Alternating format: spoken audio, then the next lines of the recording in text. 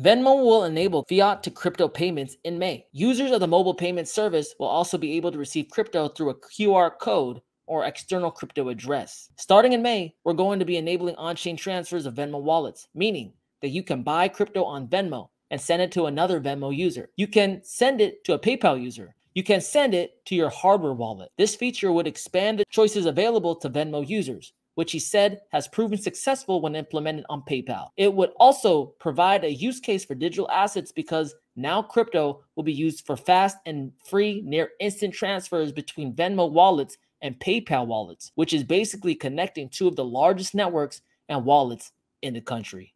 Venmo fiat to crypto, PayPal fiat to crypto. Every main service that deals with money is having one because crypto happens to be the future of money. Everyone knows it. Even traditional finance products know it. Adapt or die, baby. It has an obvious symbiosis or like a symbiotic relationship between PayPal and Venmo. Now we can use the money as a synergy to like really combine other platforms.